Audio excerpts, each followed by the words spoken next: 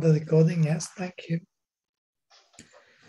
So, very welcome everybody to the fourth day of this uh, workshop on Markov partitions and Young towers. And we have uh, two very nice talks lined up. I think uh, so far all the talks have really been very interesting. It's been uh, for me at least, you know, so nice to hear all the talks so very connected to each other, really. This is why we decided to have such a focused workshop. So it's a great pleasure for me to, to introduce uh, the first speaker, Omri Sarig, uh, who is really uh, one, the, I would say, the pioneer of the development of Markov partitions in the non-uniformly hyperbolic setting, which is what we're focusing on. And he will uh, continue the topics talked about by Jérôme Buzzi and Sylvain Crovisier and talk about strong positive recurrence for diffeomorphism. Thank you very much, Omri. Okay, thank you very much. And uh, thank you for the organizers for the initiative to hold this meeting and for give me, giving me an opportunity to speak. Uh, everything that I'm going to say today is joint with uh, Jérôme Buzzi and Sylvain Crovisier. And in fact, it's a direct continuation of the two talks which they gave uh, earlier this week. So let me remind you that uh, Jerome and Sylvain proved two very useful properties for general uh, C-infinity surface diffeomorphisms with positive topological entropy. Jerome proved the property called entropy continuity of Lyapunov exponents, and Sylvain proved the property called strong positive recurrence. I will recall what these properties are uh, later in the talk, so don't worry if you don't remember exactly what they mean. Uh, what I'm going to do today is I'm going to explain to you why these properties are useful. And I'm going to do it by presenting a variety of uh, consequences uh, which describe the stochastic behavior of the measure of maximal entropy. So everywhere in this talk, MME means a measure of maximal entropy. Now, there are going to be many, many consequences, and the best way to remember them concisely is that they all follow from a spectral gap for the transfer operator of the measure of maximal entropy. And that in some sense is the central uh, result of this talk, that if you have a general C infinity uh, surface diffeomorphism with positive topological entropy, then uh, an ergodic measure of maximal entropy has a transfer operator which acts with spectral gap on some uh, Banach space. And as I'm sure many of you know, uh, this has uh, many, many consequences. Uh, since we're going to talk about measures of maximal entropy, let me begin by recalling some facts about them. So suppose we have a closed smooth surface and uh, C infinity diffeomorphism on the surface with positive topological entropy. Well, then uh, the most fundamental result on measures of maximal entropy is that they exist. This is true, in fact, in any dimension, not just in dimension two. Uh, in dimension two, you also have uh, finiteness uh, properties. there, are all, there are at most finitely many different ergodic measures of maximal entropy, and in the topologically transitive case, uh, exactly one. Since there is only one, it has to be ergodic. Uh, it's not always mixing, but uh, you can show that uh, every ergodic measure of maximal entropy is always isomorphic to the product of a Bernoulli scheme and a cyclic permutation of the p points.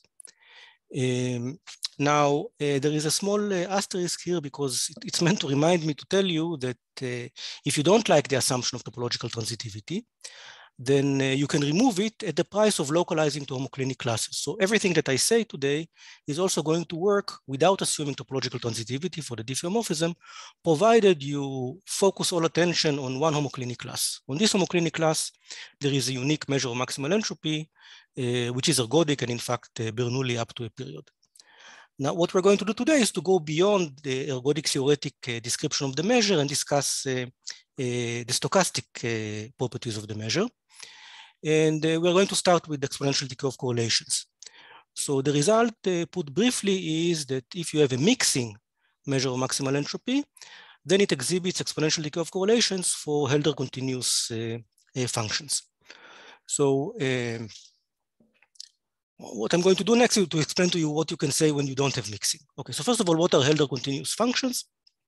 These are real valued functions on the manifold uh, which have finite Hölder norm. So beta, the parameter here, is the uh, Hölder exponent. And the result is that uh, if you have a, a C infinity surface diffeomorphism with positive topological entropy, and you take an ergodic measure of maximal entropy, well, if it's mixing, then you have exponential decay of correlations for Hölder continuous functions.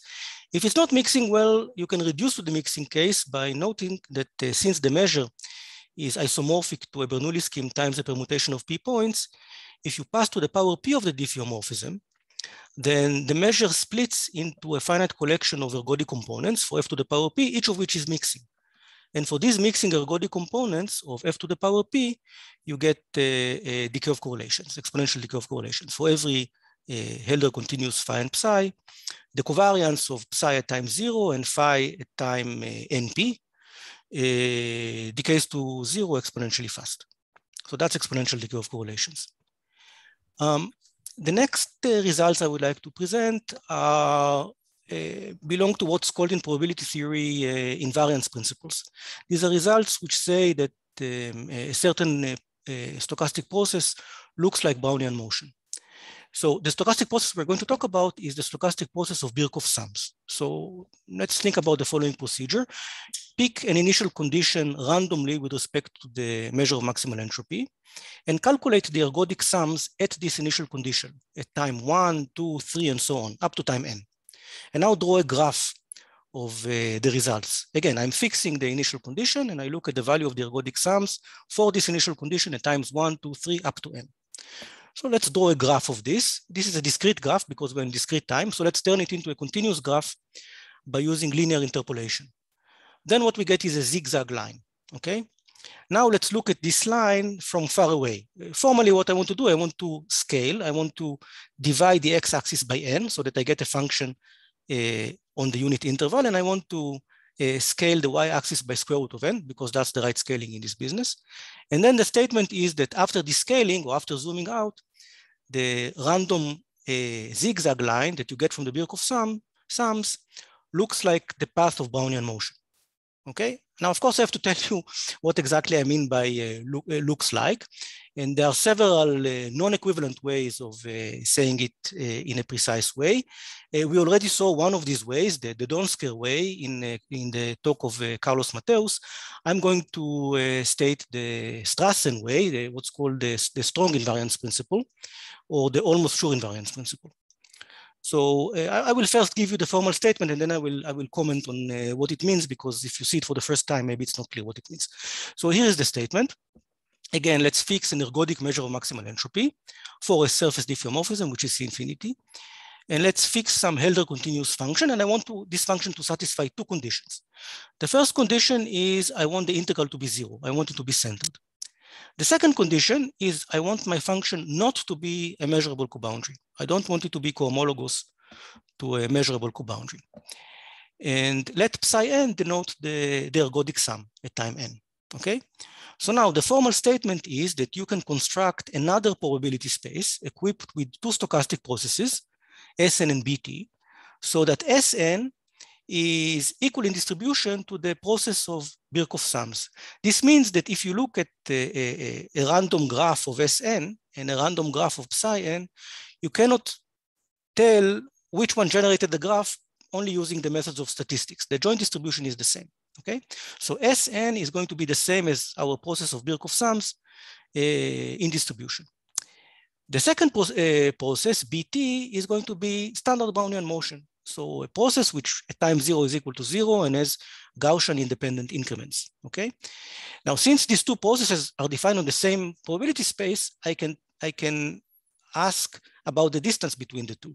And the statement, the important statement is that uh, Sn is equal to Bn up to a constant sigma plus a negligible error. And this is true almost surely. Okay, negligible in this business means much smaller than uh, square root of n. So here the power lambda is uh, smaller than one half.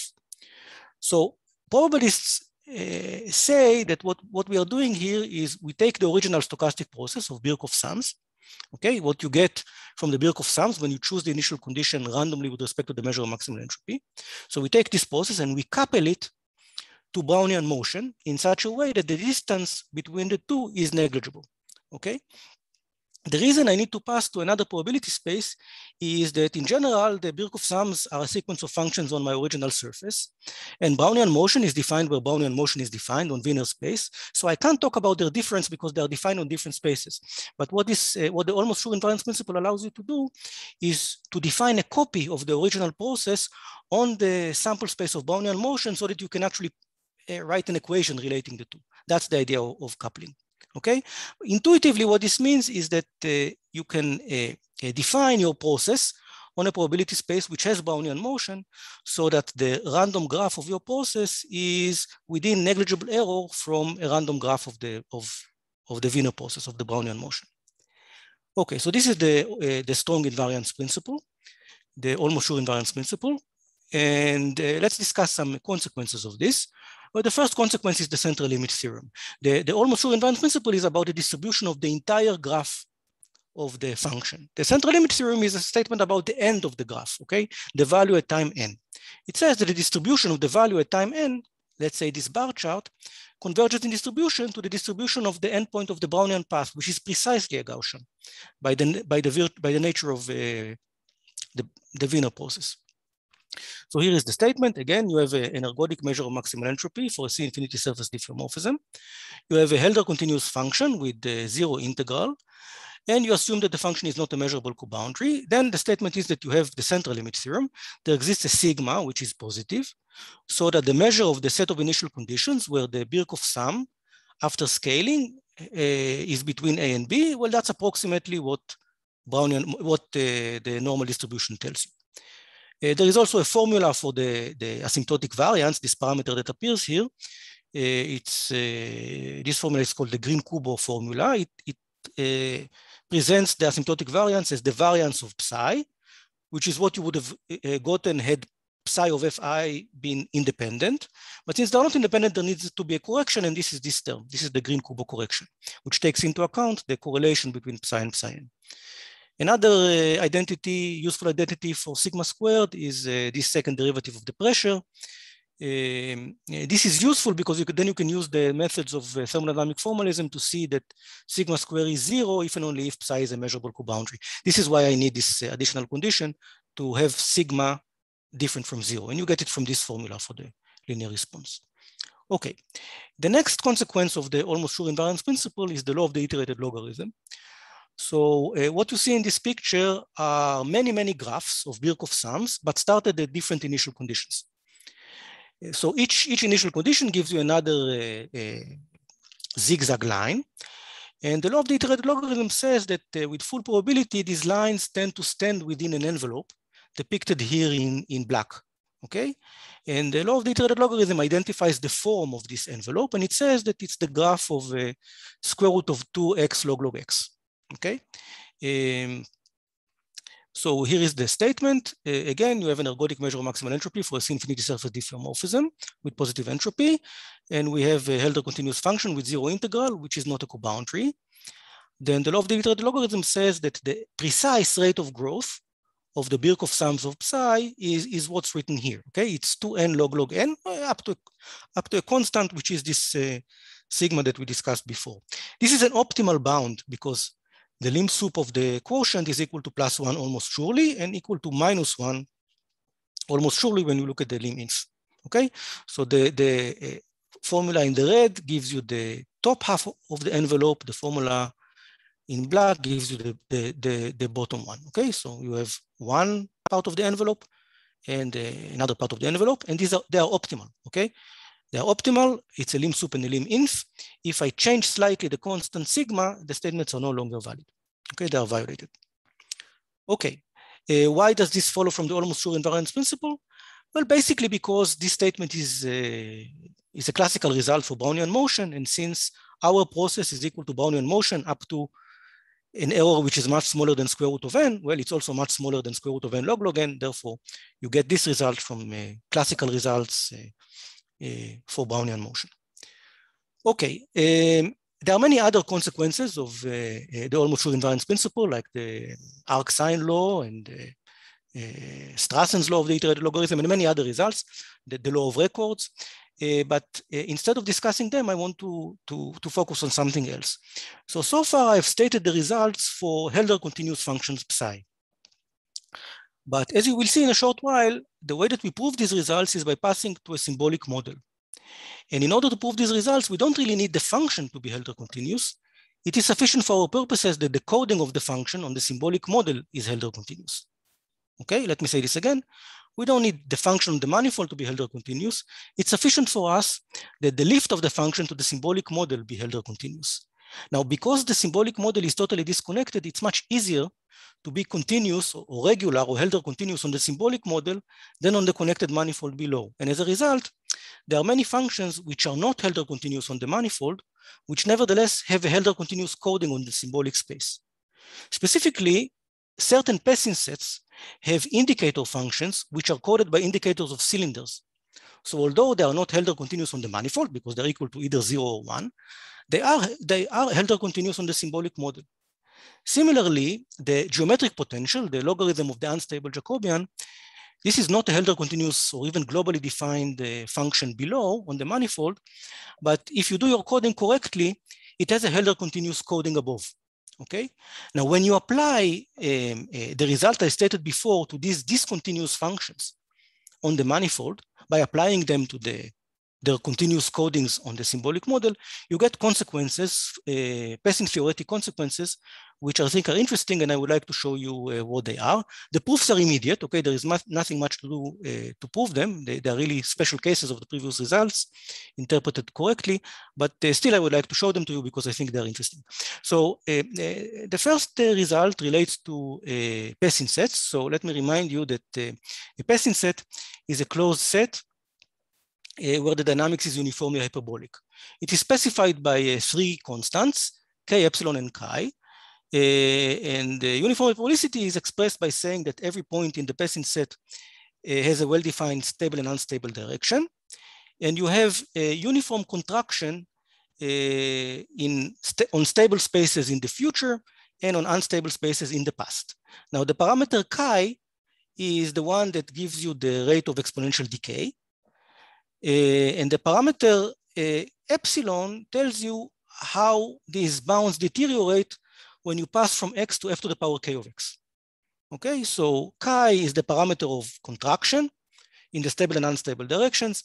Epsilon is the control on how the bounds deteriorate when you pass from x to another point on the orbit of x. Okay, uh, I should mention that part of the definition also is that you have a lower bound on the angle. Okay, so this is a Pesin set, and the union of all Pesin sets, you know, for all k, uh, is a set of full measure by the Oseledets theorem. Um, of course, these sets are not necessarily invariant sets, and because of this, if you start from a, a point in Pesin set and you iterate it, it's possible that the point uh, comes out, okay, and spends a very long time outside. Now, the time that the point in the Pesin set spends outside the Pesin set is unbounded in principle. Um, uh, but we can ask, you know, how big is the time that you spend outside the Pesin set for most points, okay? And the way to do it is to define a function, the, which is called the entrance time to a Pesin set, which tells you how much time you need to wait uh, before your orbit hits the Pesin set, okay? So this function is uh, finite almost surely, okay, by uh, Poincare recurrence, by ergodicity, uh, but it's not bounded. And the question is, well, how big is the set of points for which this function is big? Well, the answer is it's exponentially small. So if you have an ergodic measure of maximal entropy for a surface diffeomorphism C infinity, then the measure of the set of initial conditions, which require more than n iterates to enter a Pesin set, it decays exponentially in n, okay? How do you prove it? Very easily. You take the indicator of a Pesin set, which you choose carefully so that its indicator has a Hölder continuous coding above, and you use exponential mixing. Okay, it follows from exponential decay of correlations for a suitable choice of a Pesin set. Okay, another question you can ask. I'm sorry? I have a question. Yes, go ahead. Does the constant theta depend on epsilon from the Pesin set? Yes. Yes, it does. When you take epsilon to zero, it goes to one? What goes to one? When theta goes to one, when epsilon goes to zero? Um, oh, oh, you're asking you're asking whether theta depends on epsilon. Yeah. Um, let me think. No, I, I, I can't say anything about the dependence. Yeah, yeah. yeah. Well, the best I can say is that that tends, tends to one. Yeah, yeah. I, I, cannot I cannot say anything. Okay. Uh, so another question? Okay. Next thing, let's discuss the optimal Pesin constant. So what is the optimal Pesin constant? Uh, by the Oseledets theorem, for almost every point x, there exists a constant kx which satisfies these bounds. Okay.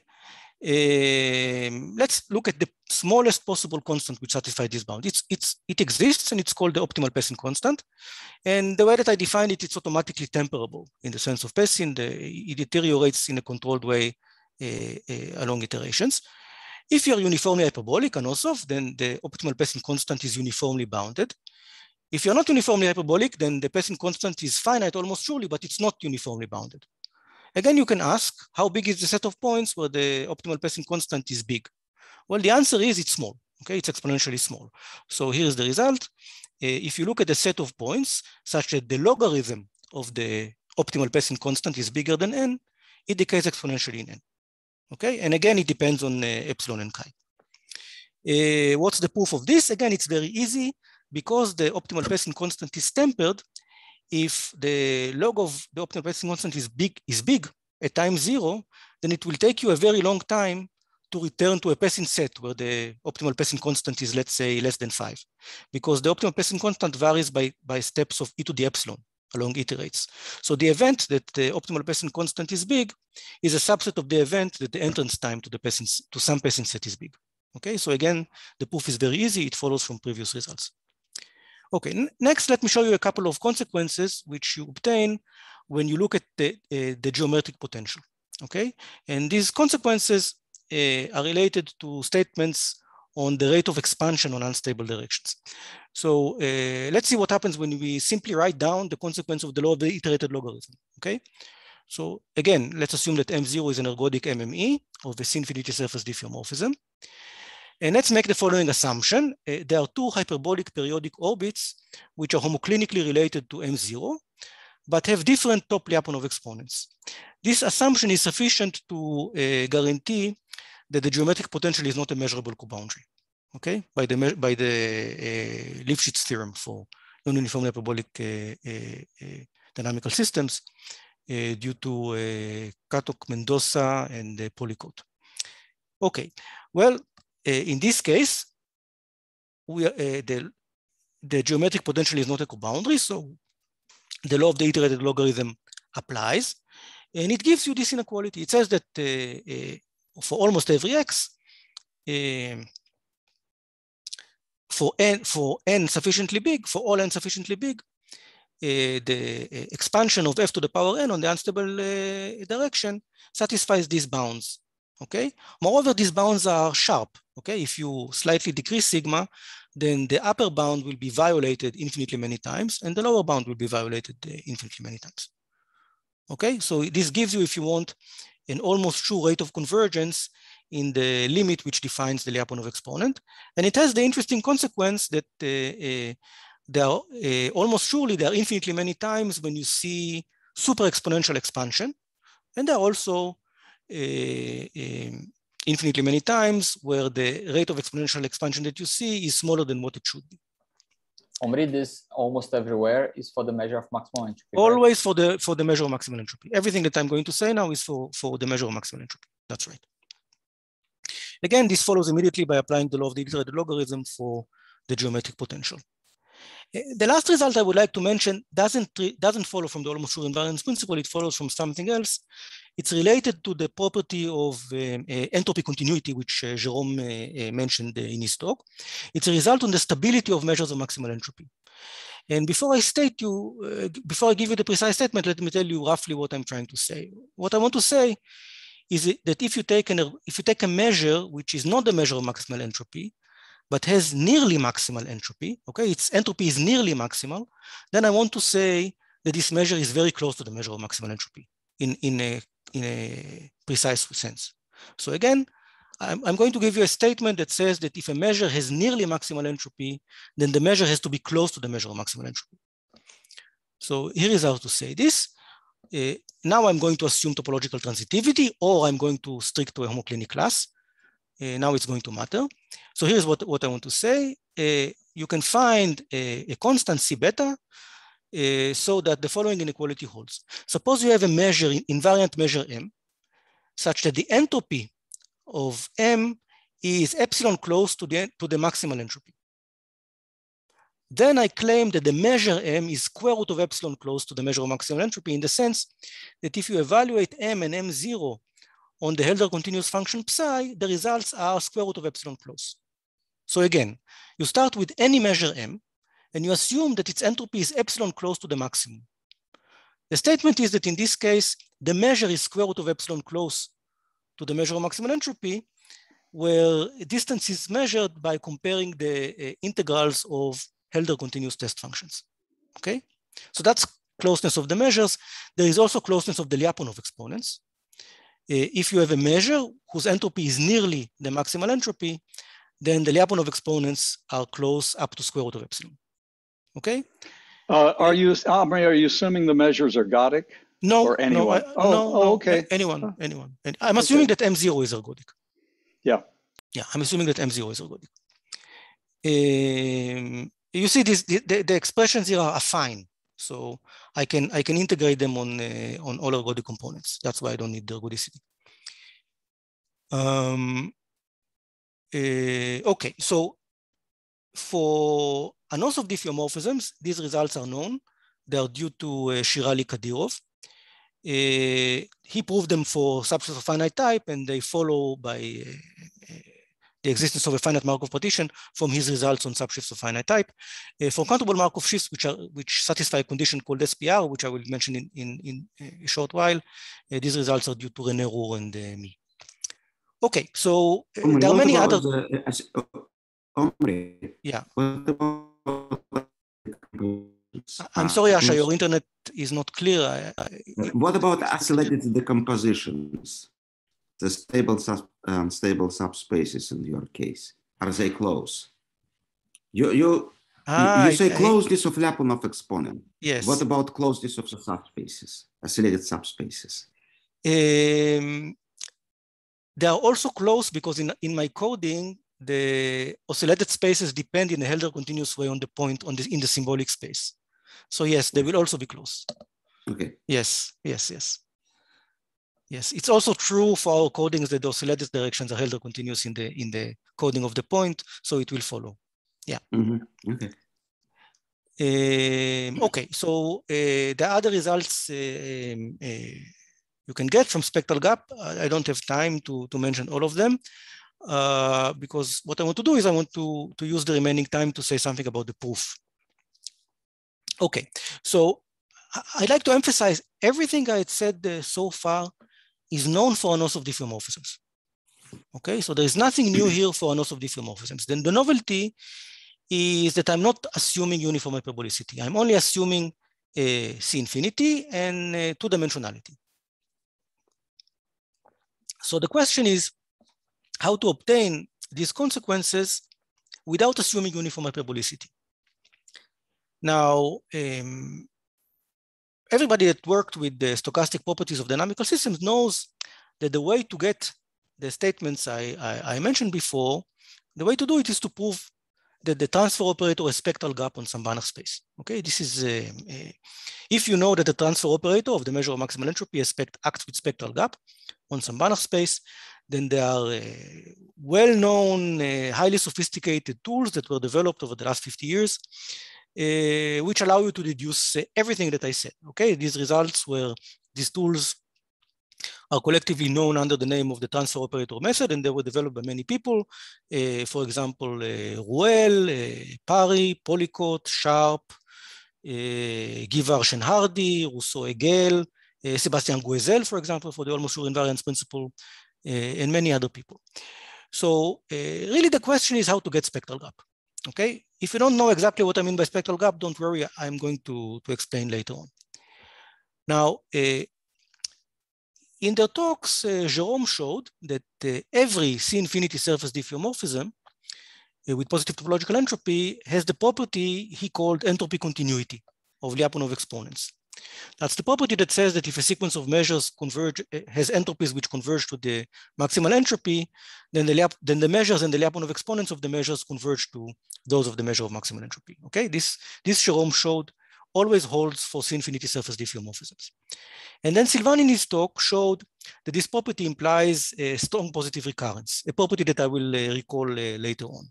What I'm going to do now is explain to you why strong positive recurrence implies spectral gap for the transfer operator. And once I do this, uh, we get a proof because, as I said before, to see that spectral gap implies the results I mentioned before is, uh, is, is, well known, okay? It's, it's the transfer operator method and, uh, and nothing else. So we are going to focus now on uh, the implication written here in red that the strong positive recurrence property introduced in Sylvain's talk implies a spectral gap for the transfer operator. Okay, so um, uh, how to do this? How to show that the strong positive recurrence implies a spectral gap? Okay, so let me begin with um, um, just uh, recalling some facts on symbolic dynamics. After Yuri Lima's mini course, uh, uh, I mean, it was discussed at length there. I will only say it briefly. Uh, suppose you have a C1 plus epsilon diffeomorphism. Now, now we can work in any dimension. Uh, then I proved in dimension two and uh, Snir Ben Ovadia proved in uh, any dimension that you can construct a countable Markov shift and an equivariant Hölder continuous map pi from the countable Markov shift to the manifold so that this diagram here commutes. Okay, the, the action of the shift uh, on the symbolic space commutes with the action of the diffeomorphism on the surface. Okay, now this coding map has two important uh, technical properties. It is almost surely finite to one and it is almost surely onto. Specifically, what I mean is the following, that you can define a very big subset of the shift, sigma sharp, which is huge. It contains the non-wandering set. In particular, it has full measure for all shift invariant measures. And when you restrict the coding map to this huge set, you get a finite one map. Further, the image of the coding map on this huge set has full measure for all ergodic invariant hyperbolic measures whose Lyapunov exponents are bounded away from zero by chi. Now, the significance of uh, finiteness to one and uh, almost uh, almost everywhere surjectivity is that it means that if you have an, an, invariant measure on the shift, it projects to an invariant measure with the same entropy below. And if you have an ergodic invariant chi-hyperbolic measure below, it lifts, it has a lift to a, a measure above with the same entropy, okay? So I, am going to, I, I, emphasize that when you move from, when you lift a measure below to a measure above, and when you project a measure above to a measure below, the entropy remains the same. That, that's what's crucial here. And this is because of finiteness to one.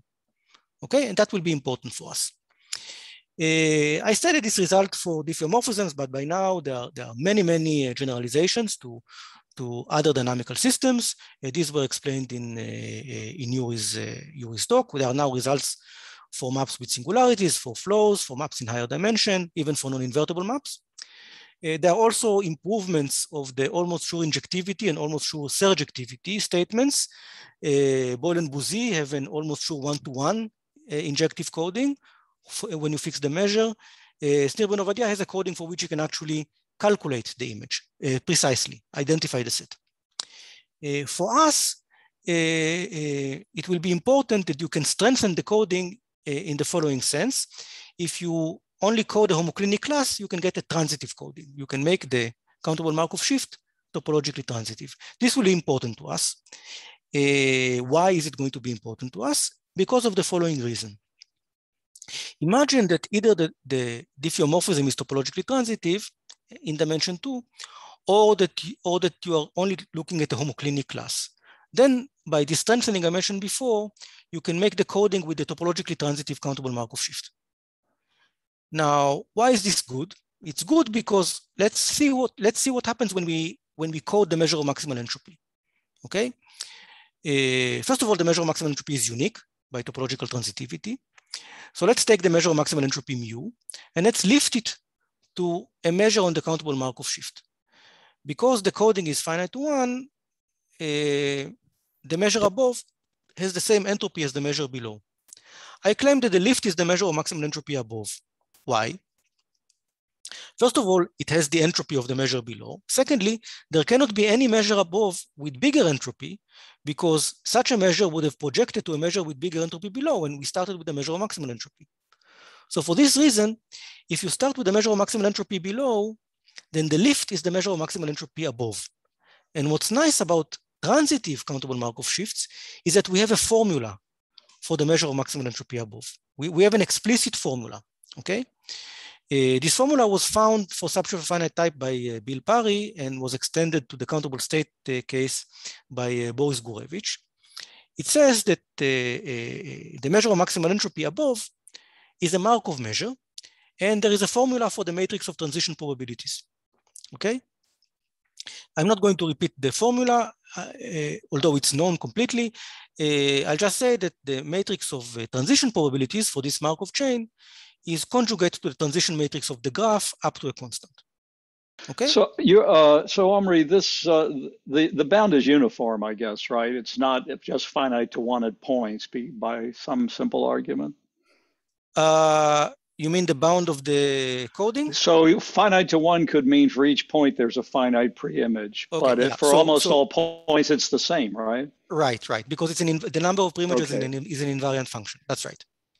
Good. Okay. That's right, yeah. But uh, for different measures, it could be different. For different ergodic measures, this, this bound could be different. But for okay, the measure of maximal entropy, but for each each individual ergodic measure, it's a, it's a constant. Oh, thank you. Right. Yeah. Okay. So let's summarize. If we code a diffeomorphism by a transitive countable Markov shift, then the measure of maximal entropy uh, of, of the diffeomorphism is coded by a Markov chain whose transition matrix is known. It's basically conjugate up to a constant to the transition matrix of the graph. And now, you know, when you have a Markov chain, you can ask, okay, what do I need to know about this Markov chain to prove that it has exponential decay of correlations, or to prove that it has uh, satisfies the central limit theorem or the almost sure invariance principle? Well, basically, what you need, you need to know that it satisfies the spectral gap property. So you need to know that the transition matrix of the, uh, the matrix of transition probabilities or basically the transition matrix of the graph, you need to know that it has a, a certain property called the spectral gap property, which I will now, uh, now describe. So what is the spectral gap property of the transition matrix that uh, guarantees exponential of correlations, uh, invariance principle, and so on. Uh, so here it is. So let's begin with some notation. So suppose we have a countable directed graph, and let's assume for simplicity that every vertex has a finite degree, okay? Not bounded, but finite. Uh, let T denote the matrix of zeros and ones, which encodes the, the, the collection of edges. So a pair AB uh, will have entry equal to one if there is an edge from A to B, and it will have, uh, the entry will be equal to zero if there is no edge from A to B. This is a, a matrix of uh, zeros and ones, and it's an infinite matrix because my graph is infinite. So now I need to be careful because uh, an infinite matrix can act in many different ways on many different uh, vector spaces.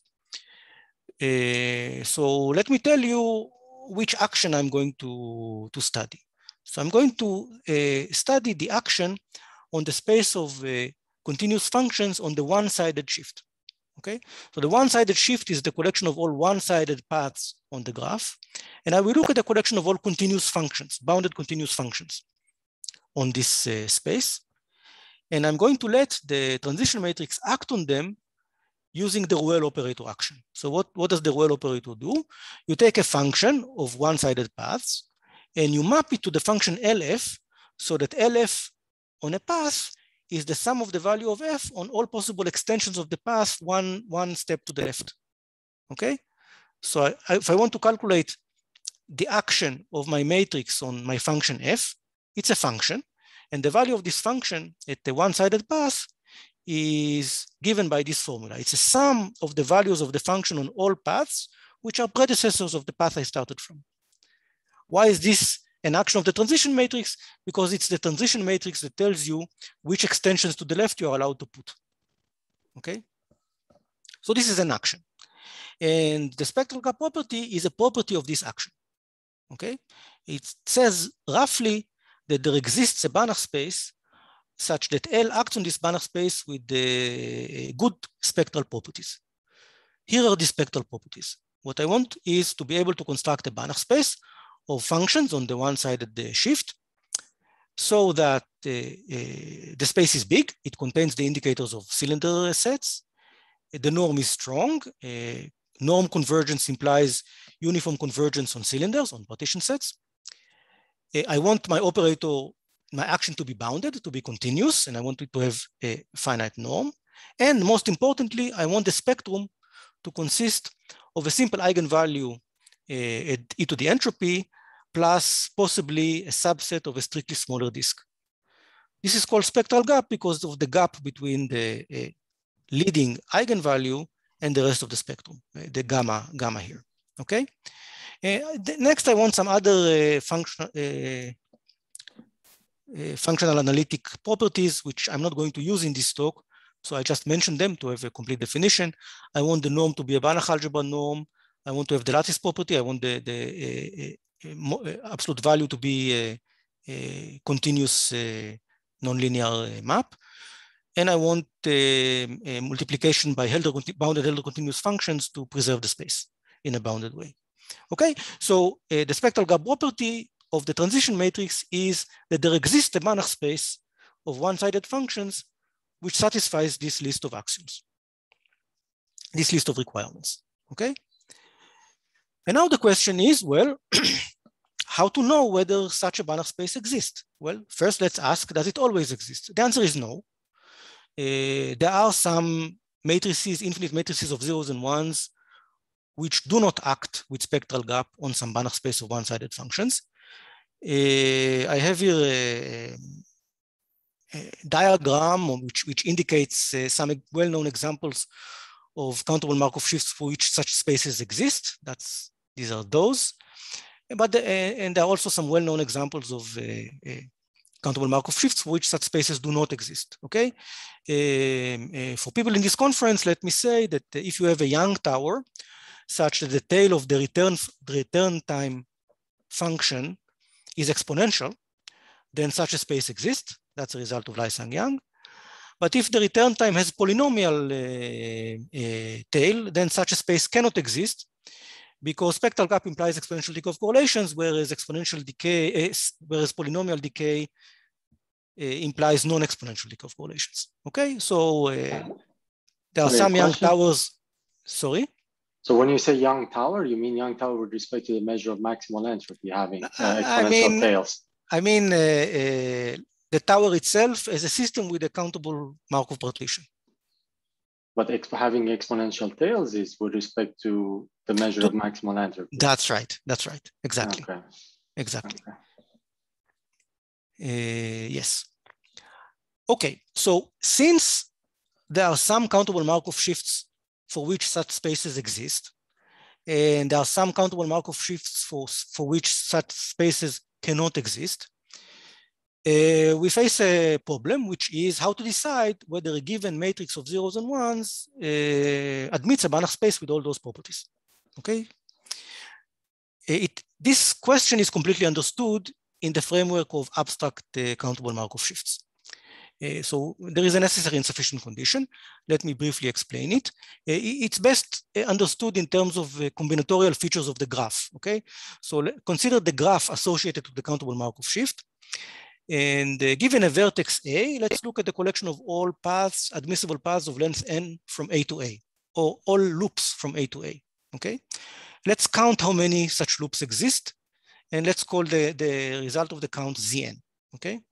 Now, let's count how many first return loops there are at the vertex A. So how many paths from A to A exist, which do not visit A in the middle. Let's count them and call the result of the count Zn star okay? Obviously, Zn star is less than or equal to Zn. It turns out that the spectral gap property holds if and only if Zn is not just larger, but exponentially larger than Zn star. So here's the result. It's the, the result of works by, by, by many people. Uh, if you have a, a, topologically transitive countable Markov shift with finite Gurevich entropy, so the supremum of the metric entropies is finite, then you have the following three equivalent properties. First property, spectral gap property. So the property that there exists a Banach space with all the properties I listed before, okay? So this property is equivalent to the following two properties. First property, what I said before, that there are exponentially more loops than first return loops at some vertex. It doesn't matter which. If this happens for one vertex, it happens for all vertices. Okay.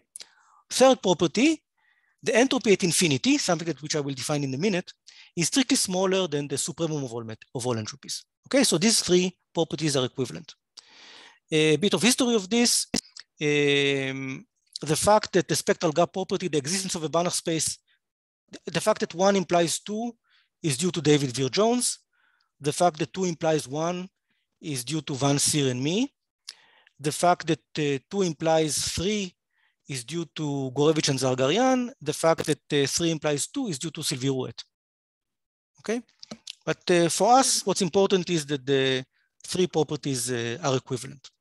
So one quick question: yeah. uh, if you look, if you the, the classical notion, like in Seneta's book and so on, is this uh, positive recurrence for the mm-hmm. shift? Is is this the same as that or stronger? It's stronger. So uh, the way to think about it is the following: a, a, a Markov chain is positive recurrent if when you start at vertex A, um, you return to A and the time you need to wait has finite expectation. Uh-huh. Okay? A, a, a, Markov chain is strongly positively recurrent if not only do you have you return with the finite expected time, the, the, the return time has exponential tail. Ah, good. Thank you. That's that's a stronger requirement. One says that you're in L1, the other one says much more. Um, okay. For Markov chains, uh, strong positive recurrence is uh, basically the statement that uh, you're exponentially mixing on cylinders. Oh, good. Thank you. Not just not just mixing. Right. Okay. Uh, so we have three equivalent properties. Uh, perhaps the third one is a bit mysterious because it has this strange notation here, lim sup as the measure tends to infinity. So what do I mean by this? Uh, let me explain this. It's, it's, a, it's a very simple thing. Uh, just to make my life easy, I'm going to explain it only for countable Markov shifts where every vertex has, has a finite degree, okay? So I'm going to say that a sequence of measures escapes to infinity if for every pre-compact set, eventually most of the mass is going to be outside the compact set, okay? So for every epsilon, for every pre-compact measurable set B, there exists a time capital N after which the measure of B is less than epsilon. So most of the mass escapes every pre-compact set, every, every measurable pre-compact set, okay? So that, that's what I mean when I say that the sequence of measures escapes to infinity. Now, what do I mean when, when I write down lim sup of the entropy as the measure tends to infinity? What I mean is the supremum over the lim sup over all possible sequences which escape to infinity. Okay, so I look at the, all sequences of measures which escape to infinity. I calculate the lim sup of the entropies along this, uh, this sequence, and then I take a supremum over all possible sequences. That's what I mean by lim sup of uh, the entropy. And what I just told you is that the spectral gap property, the property that there exists a Banach space on which the transition matrix acts with the spectral gap, with all the properties I mentioned before, is equivalent to the statement that the entropy at infinity, the lim sup of the entropy along all sequences which tend to infinity, is bounded away from the Gurevich entropy, the supremum of, over all metric entropies. Okay? Any questions about this, what this means? Please ask verbally. If you send me things in chat, I can't see it. Okay, so uh, at this point, I would like to tell you that this entropy at infinity uh, was considered by other authors uh, in different contexts. Uh, for example, by uh, Jérôme Buzzi and Sylvie Ruette, uh, they used it to construct measures of maximal entropy for CR interval maps. it appears in a series of papers by Godofredo Iommi, Mike Todd, and Anibal Velozo on upper semi-continuity of the entropy map uncountable Markov shifts. Uh, it was used uh, in number theory, uh, in proofs of Duke's theorem, for, for instance, in this famous paper by Einsiedler, Lindenstrauss, Michel, and Venkatesh. It's used in variable curvature as well. By there are papers by Pitt and Schapira, Gouëzel, Nu Schapira, Tapie, and Riquelme on geodesic flows on non-compact manifolds with the variable negative curvature. And I also like to say that if you think about the entropy at infinity as the complexity of bad things, and think of this inequality as saying that the complexity of bad things is smaller than the complexity of the system, then it's very similar to uh, uh, results appearing in the work of uh, Vaughn Climenhaga and Dan Thompson on uh, uh, generalized specification properties of uh, dynamical systems. It's, it's in the same flavor. The, the infinity is bad. Soon you will see why I think that infinity is bad. And this, is, this is basically saying that the complexity of the system close to the bad part of phase space is smaller than the full complexity of the system. That, that's, a bad, uh, that's a good way to think about uh, this condition. Okay, so now let's move back to how much time do I have? Ah, I'm short of time. Now let's move back to uh, diffeomorphisms on manifolds and uh, uh, see how to interpret the entropy at infinity on the level of the manifold. Uh, okay, so first of all, I can't use the same definition of entropy at infinity on the manifold because the manifold itself is compact. So no sequence of measures can escape to infinity on a compact manifold, simply because the manifold itself is, is compact. I need to use a more, a more uh, a subtle and sophisticated notion of escape to infinity. Uh, now to define this notion, I'm going to use some abstract nonsense. I'm going to use the, the notion of Bornology, which is a, a general way of defining escape to infinity on uh, abstract spaces. So what is a Bornology? A Bornology is a collection of sets which we call bounded, which satisfy natural axioms. For example, uh, the axioms are that every point is bounded, a finite union of bounded sets is bounded, a subset of a bounded set is bounded, and every bounded set is a subset of a measurable bounded set. Okay, so these are natural axioms. Um, we're going to say that a sequence of measures escapes to infinity with respect to a Bornology if for every epsilon, most of the mass is outside every bounded set. Okay, so for every bounded measurable set B, for every epsilon, there exists a position index sequence whenceforth the measure of the bounded set is less than epsilon. Okay, so you saw an example, precompact set, the Bornology of precompact sets on a countable Markov shift. But now I want to define a Bornology on the hyperbolic, non-uniformly hyperbolic part of a manifold. Okay, so I'm going to look at the set of Lyapunov regular points with Lyapunov exponents bounded away from zero. That's a horrible Borel set. It has em perhaps empty interior, okay? Uh, uh, so on this highly non-compact set, I'm going to define a Bornology by appealing to the collection of Pesin sets. I'm going to fix two parameters, chi and epsilon, and I'm going to look at the Pesin sets with these parameters. And I'm going to say that the set is bounded if it's included in the Pesin set. Okay? I remind you that uh, the parameters chi and epsilon have this meaning. Chi tells you the rate of contraction on the stable and unstable uh, directions. And epsilon gives you the control on how the bounds deteriorate when you iterate the, the point. Okay, so if you fix chi and epsilon, you have uh, you get a collection of Pesin sets defined with these parameters. And I'm going to use the, the Bornology of all subsets of these Pesin sets. Okay, so escape to infinity in the Pesin Bornology means that most of the mass escapes to regions in the space where hyperbolicity is very, very bad. Okay, the, these these these bounds uh, happen with huge constancy. Okay, that's what what it means. And now I'm going to talk about escape to infinity with respect to this Pesin Bornology. So now let me recall what was the strong positive recurrence property in Sylvain's talk. It's Sylvain gave several uh, equivalent conditions. One of them was this one or at least it's equivalent in my notation to this one, that there exists a parameter chi such that for all epsilon small, the lim sup of the entropy at infinity with respect to the Pesin Bornology is strictly smaller than the topological entropy of the system. In other words, every sequence of measures which escapes to infinity in the Pesin Bornology in the sense that most of the mass moves to parts of the space where the Pesin constant is huge, uh, if you have a sequence of measures like this, then its entropy has to be bounded away from, uh, from the full topological entropy. This is why I said that entropy at infinity measures bad behavior because it measures the complexity of measures which are concentrated in the part of phase space where the uh, hyperbolicity bounds are very, very bad. They, they require huge optimal Pesin constant. Okay, so now here is our situation. Um, Jerome and Sylvain basically showed that if you have a general C infinity surface diffeomorphism, then the entropy at infinity is going to be smaller than the full topological entropy if you think of entropy at infinity uh, using the perspective of the Pesin bornology, es escaping Pesin sets.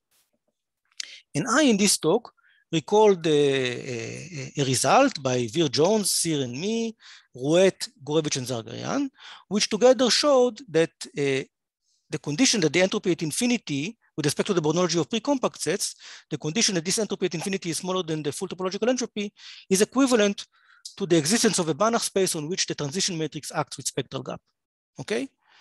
So the entropy at infinity appears on the left and it appears on the right. The only difference is that it uses different bornologies. Here we talk about measures on the manifold and we use escape to infinity in the sense of escaping Pesin sets.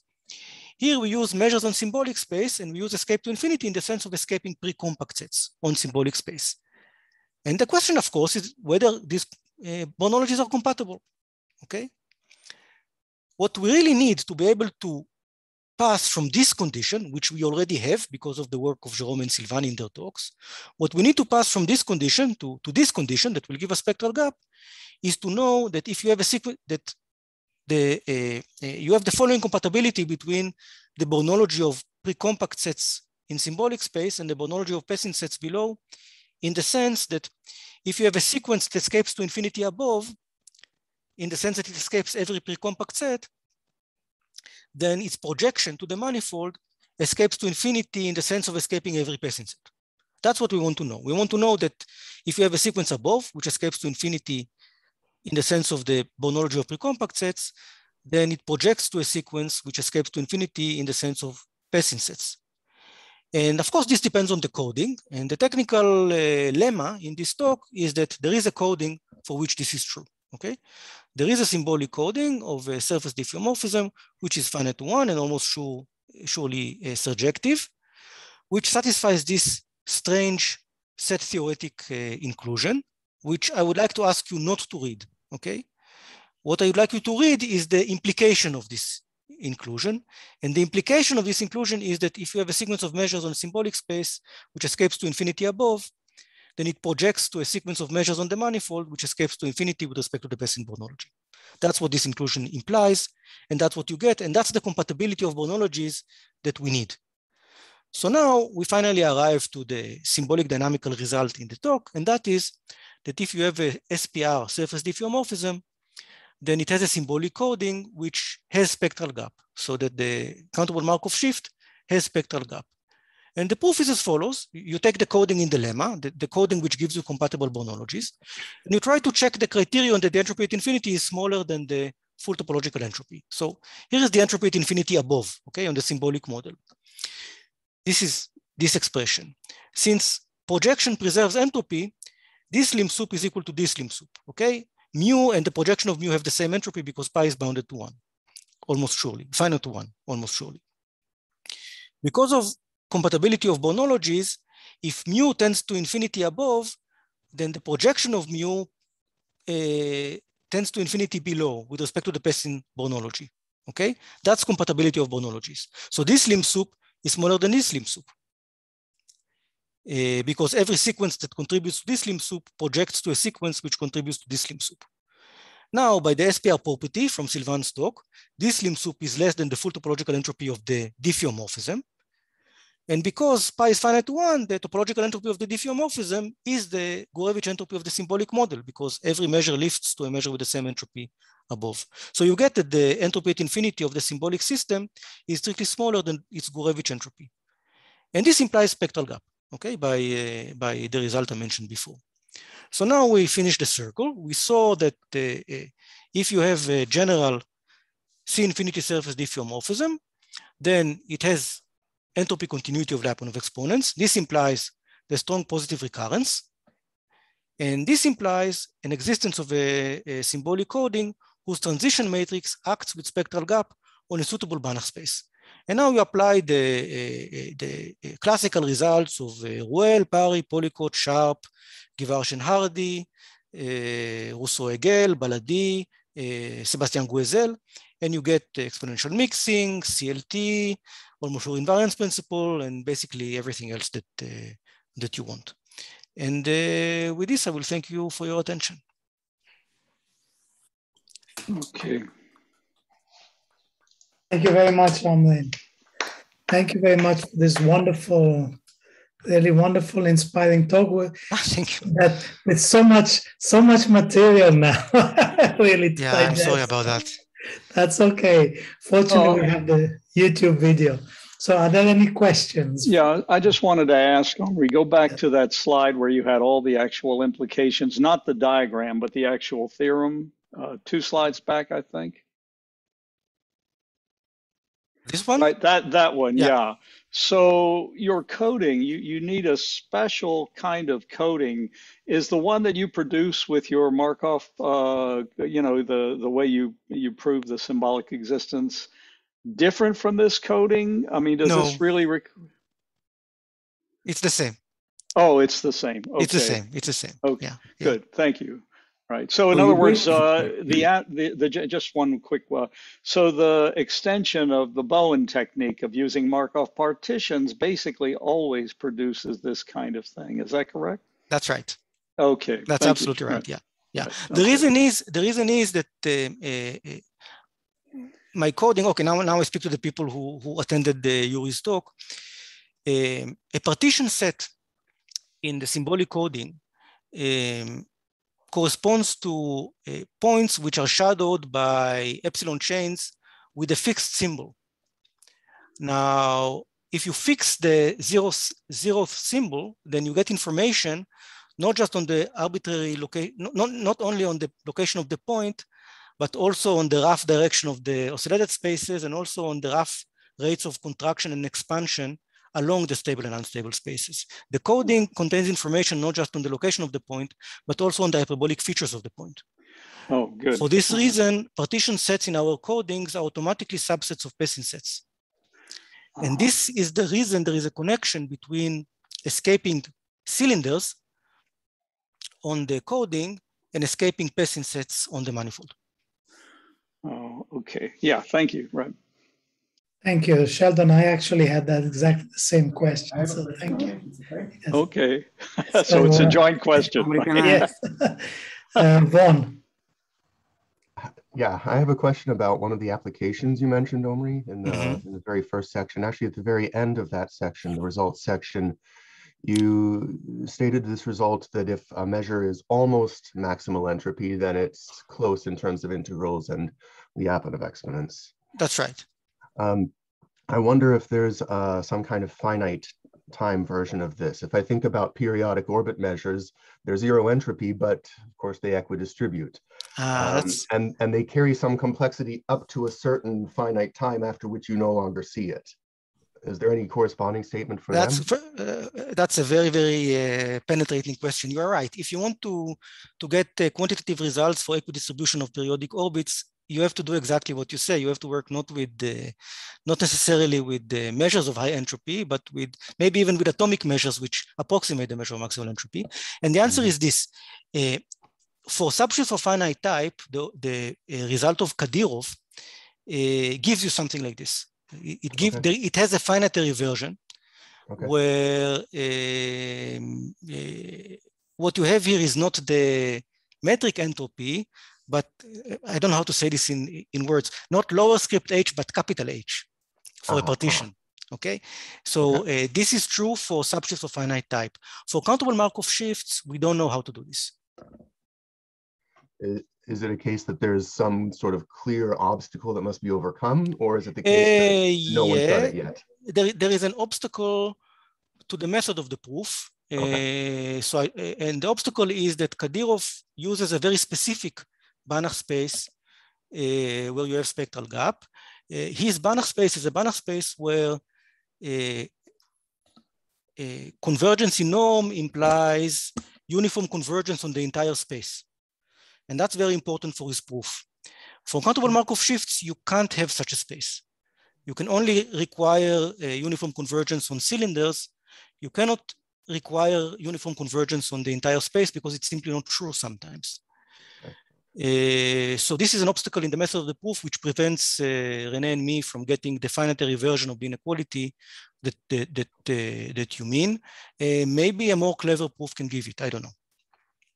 But but there is sort of a clear obstruction. Thank you. Yeah, yeah, we tried and we couldn't. Okay. I think Yasha, you had a yeah. Uh, I have a question. Uh, it's kind of a more, I don't know, it's uh, more general and more, I don't know, maybe a little bit philosophical. Uh, that uh, the results about uh, measures of maximal entropy uh, for example, my paper with uh, Sam Senti and Kerzheng, which also mm -hmm. shows exists that measure of maximal entropy has exponential decay of correlation under some other say in, in, in a different settings. Mm -hmm. uh, so on the other hand, there are a number of results that shows that for smooth measures uh, uh, outside of uniform hyperbolicity, you should expect polynomial decay of correlations. Mm -hmm. Uh, so my uh, question is that, and in fact, if you connect, if you uh, consider the geometric potential and you connect a measure of maximal entropy to Lebesgue measure in, through the parameter t in the geometric potential, then all equilibrium measures corresponding to different t will also have I mean, known results show that uh, there are situations and all, they all have exponential correlation, which breaks down exactly at the Lebesgue measure. So my mm -hmm. question is that, first of all, can, do you believe that your result may be extended to um, er, uh, equilibrium measures in the two-dimensional case of C infinity diffeomorphism, showing they, they all, except t is equal to one, uh, have uh, exponential decay of correlation. And uh, whether for t is equal to one, it will um, basically, you should expect polynomial decay of correlation. Mm -hmm. I mean, it's a speculative question, of course, but. Uh, no, no, it's, it's again a very good question. Um, I talked about the strong positive recurrence condition for the transition matrix. There is a notion of strong positive recurrence for potentials where we generalizes the notion for matrices by basically strong positive recurrence of the zero potential or the constant potential corresponds to the strong positive recurrence which I discussed uh, today. But you can also talk about strong positive recurrence of other potentials. And this property is a stable property. So it follows from what I said today that uh, for very small t, for t close to zero, t times the uh, geometric potential is going to be strongly positively mm -hmm. recurrent, and its equilibrium measure will have exponential decay of correlations. However, this is a perturbative result, and it's only going right. to work for t very, very small. Now, when you move to t closer to one, uh, there are counterexamples. For example, uh, uh, uh, Peyman Eslami discussed or mention, uh, mentioned in his, in his talk uh, an example due to Martens and Liverani of a Hamiltonian system, which preserves the Lebesgue measure, is infinity, as far as I understand, and has um, sub-exponential of correlations. So this is going to be an example which shows that uh, for t equals one, sometimes you're not going to have the strong positive uh, uh, recurrent uh, property. Um, now, can I answer in a, on, a, on a heuristic level what is the difference between the constant potential and the geometric potential, not really except to say that the uh, geometric potential is more complicated than the constant potential. Um, um, yeah, I mean, th there is a there is a there is a subtle difficulty that uh, you have to fight.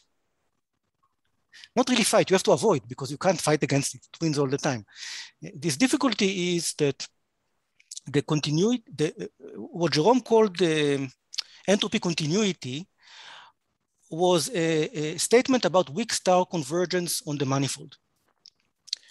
Whereas in order to use thermodynamic formalism for countable Markov shifts, you need continuity with respect to weak star convergence in symbolic space. These are very, very different conditions. And um, the constant potential has the um, wonderful property that it's continuous both above and below. And therefore it behaves well for weak star convergence with respect to the original topology and for weak star convergence with respect to the symbolic topology. The geometric potential is, doesn't behave well for both topologies because it's discontinuous on the manifold. It's continuous above, but it is continuous on the manifold. So uh, the analogous result for entropy continuity for the geometric potential uh, is much more difficult. Indeed, it's, it's not true in general precisely because it's you know, it, it doesn't play well with weak star convergence on the manifold because the potential is not continuous on the manifold. I don't know if I if I answered. Yeah, no, no, it's. Uh, I mean, I understand what you're saying. Perfect. Yeah. Okay, thank you very much, Snir. Hi, thank you. So I have a couple of uh, questions on me. So mm -hmm. if I understand the scheme of uh, of your proof, you start with showing first that for let's say a topologically transitive surface diffeomorphism, you can found uh, an homoclinic with high entropy on which the coding is transitive, and then you can apply your methods for transitive shifts. But there could still be other homoclinic classes on the manifold, even in transitive case or mixing case so let me ask the following. Let's let's call an MME local MME. If it is a supremum over some homoclinic class, do your results apply to those local MMEs as well? Yes. Yes. Okay. So our results apply to uh, homoclinic classes, to measures of maximal entropy on homoclinic classes. Uh, one of the uh, differences between the C infinity case and the CR case is that in the C infinity case, uh, we proved with the, I mean, uh, Jerome Sylvain and I proved that uh, there are only finitely many homoclinic classes with entropy bigger than a constant. What is the constant? any constant. You take, you take any constant, mm -hmm. there are only finitely many homoclinic classes with entropy bigger than that constant. Okay. Uh, but in the CR case, you can have infinitely many homocl uh, homoclinic classes where the topological entropy, you know, it keeps growing without ever achieving a maximum. And each one of them would have. Uh, each one of them, you would have a local uh, measure of maximal entropy. Maybe, okay, you may have. on some of them, you may have a local measures of maximal entropy without the diffeomorphism itself having a, a global measure of maximal entropy. Okay, so so that's what I'm trying to say. Can you tailor it so you find homoclinic class which carries an SRB, but also carries a local MME. So you can say that uh, de facto the, the SRB is coded on a transitive coding where the, the, the entropy is uh, with a spectral gap property.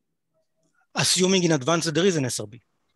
Assuming in advance that you have an SRB. Yes. Okay, that's wonderful. Yes. But what I what I what I don't know is uh, uh, I don't know how to do it in such a way that the SRB is uh, SPR. In fact, there are oh, examples when it's, it's not, not, always true. Yeah. yeah. it's not always true. Yeah. Um, but I, I, don't okay. want I don't know a condition. Uh, what condition to put to force it to be true? Um, okay, well, so I have one more heuristic question. Let's forget for a second about your uh, coding that you constructed. Is it true that for whichever coding that you code uh, an MME, it will have to have a spectral gap property? Uh, wow. I don't know. I don't know. I would expect not, uh, because I, I can think of many ways of spoiling a coding, but uh, I, I, don't have an example in mind. Okay, thank you. Thank you very much. Okay, thank you, Snir. Vilton?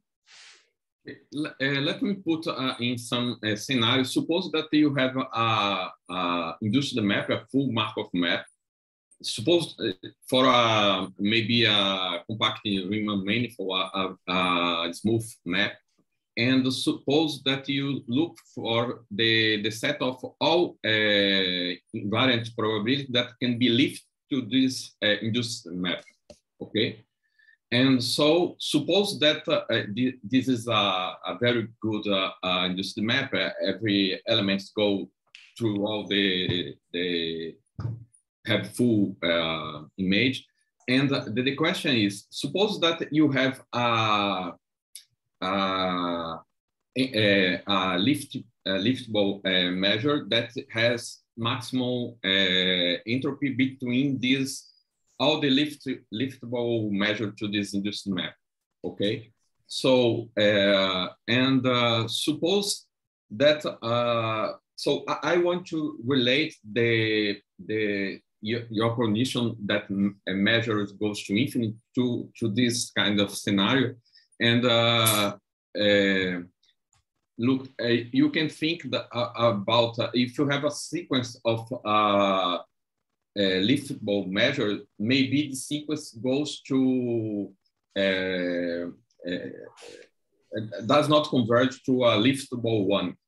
So, in, but suppose now that all uh, measure liftable measure with big enough entropy, uh, uh, the, the, the limits convert to a liftable one. So in this case, you can uh, uh, conclude the, the spectral gap to this induced map that is to in, in did you understand my question? Um, I think the answer is okay. So you, have like the, the, the closure of all liftable measure. And suppose that uh, this closure is uh, uh, this a compact set. So and suppose that uh, the, the, the measure that maximize the entropy in this uh, closed uh, set is uh, a liftable one. What is good? Yeah. So, so um, I always have this problem because you know different people when they they say induced map they mean a different thing, different things. Um, tower, for, for instance. Uh, so you see, the, the problem is that the induced map, if, if you mean the first return map to the base of the tower, it's usually a, a system with infinite topological entropy. So um, everything that I will say will, will collapse because uh, there are many, many measures for the induced map on, on the base of the tower, which have uh, maximal entropy because the maximum entropy is infinite. Um, yes, but I'm looking for only the, the, the set of measures that can be liftable and you can go down again. That the, the, the still, still, still, still, I think that uh, the the induced map will have uh, infinite topological entropy. Um, yes. The induced. Also, yes. I'd like to say another thing. I'd like to say another thing. Um, you could have situations. These are the so-called null recurrent uh, situation, or even or even transient situations, when uh, you look at the induced map. It has in order to avoid uh, problems of infinite topological entropy, let's talk about equilibrium measures of potentials, okay? The pressure could be finite if the, if the potential is unbounded from below. You could have situations when the induced map has an equilibrium measure, but uh, when you try to lift it, you either get an infinite measure or you get a measure which is less than the what the pressure should be. Um, and so I think that it is difficult to pass from conditions on strong positive recurrence of an induced map to conditions on strong positive recurrence of the original map. At least the way that I uh, that I do it. You, you understand what I mean? Um, yes, yes. It's difficult. It's difficult to, to do it like that. Okay, so actually I have, we're a bit over time, but if uh, Agnieszka doesn't mind, we will take another few minutes because I have a actually a comment slash question which I would like to to say. So Omri, can you go to the beginning to again to where you talked about the maximal, the optimal Pesin constant uh, right at the beginning in the in the uh, statement of results. There yes. we go. The next slide when you talk about the the result here. Yes, your result. So um, this reminds me of some old work that actually uh, I did with Vilton and uh, and uh, Jose, with Vilton mm-hmm. and Jose Alves, in, in, the context of uh, non-uniformly expanding maps, um, in which basically we proved the kind of converse, or we studied at least the converse um, result of this, right? So it, the, the, definition of K was not exactly this, but morally, we mm-hmm. asked, okay, suppose that this this tail of this of this Pesin constant decays at a certain rate, polynomial, stretched exponential, exponential.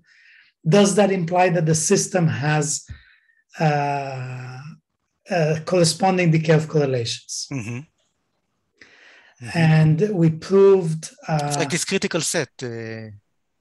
Well, no, the, the, the, the, it was really like this. It was the mm-hmm. the way we define it was the hyperbolic, the first hyperbolic time, right? Mm-hmm, Which is mm-hmm. more or less this Pesin constant. So you eh, almost every point has a has a time which it takes you know, which is like the first hyperbolic time, which is basically this this constant, and then you look at exactly this this tail that you've got here, right? The measure of the set of points where this constant is bigger than n, mm-hmm. For example, and you look at how fast this goes to 0 mm-hmm. just like you've got. Okay, and, I and I didn't know. I will look it up. Yeah, I, I, can send you, but this is in the in the non-uniformly expand, expanding case. And the thing is, the reason why I, I wanted to mention it is because we were not able to solve every case. So we we were able to show it in the polynomial and stretched exponential case, mm-hmm. but we never we never actually managed, as far as I can remember. I don't know. This is 15 years ago, so maybe Vilton or Zach, and but I, I think we we never managed to crack the exponential case somehow because we were doing some estimates where we lost, mm-hmm. you know, some optimality, and so I think. Mm-hmm. The reason I wanted to mention it is because I think it's still an interesting open problem. You know, if any anybody here is uh, is interested, I just wanted to mention it. So, and and also I wanted to ask you if you think in this context, because we did in the non-uniformly expanding case. So of course it would be interesting to look at it in the non-uniformly hyperbolic case as to whether you know whether you can go you can prove some kind of converse. So suppose suppose that you satisfy this exponential thing. Does this imply that you have exponential decay of correlations? Mm-hmm. I, I, th- I, think the answer is yes.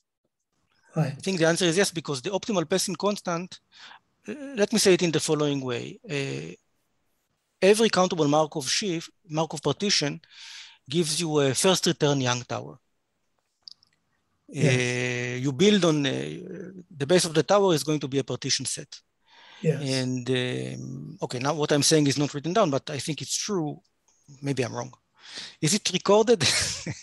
Yes, unfortunately, it is. Anyway, it's too, you can, you can too late. Too late. I started. so I think I think that I think that if you if you view the uh, countable Markov partition as a Young tower over a partition set, then you can relate the tail of the optimal Pesin constant to the tail of the first return time. Right, that was our approach. And, yeah, I think I think it's true uh, under fairly general circumstances, and I think that then you can use the I mean, the, by now well-developed techniques of uh, relating the tail of the return time of the Young tower to the rate of decay of correlations. So do you, so so so that yeah, but on the other hand, this uh, this uh, Young tower that you construct from the Markov partition it does not depend on the measure, right? But my condition ah, but the, on the tail, the condition on the, the tail, tail, of the yes, the, the condition of the tail depends on the measure. Right, right. So do you think that what you just said might apply for the SRB measure as well? No, no, no, not in the level of generality that work because of the counterexamples of, uh, for example, uh, that were discussed in Peyman uh, Eslami's talk.